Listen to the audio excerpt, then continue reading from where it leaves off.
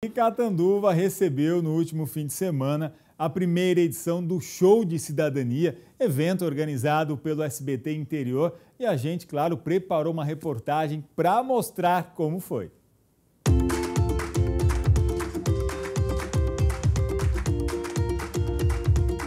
Sete horas de programação, o show de cidadania atraiu mais de 5 mil pessoas para o parque do aeroporto em Catanduva. E teve quem chegou bem cedinho para não perder nada. O evento foi organizado pelo SBT Interior e teve o apoio da Rádio Nativa FM Catanduva, Prefeitura Municipal de Catanduva e Sebrae, além do importante patrocínio da Caixa Econômica Federal.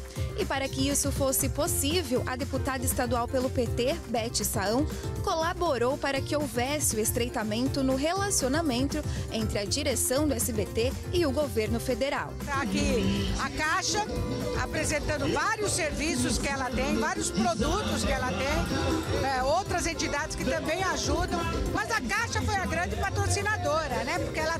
programas voltados para isso. E nós trabalhamos junto com o Luiz Barreto, que é o diretor do SBT Interior,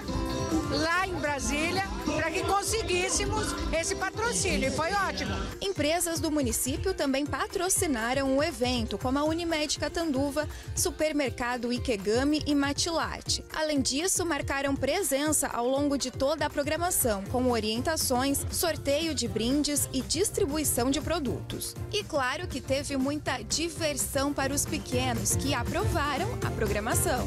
Eu gostei muito daqui, né? Porque hoje é o show do SBT.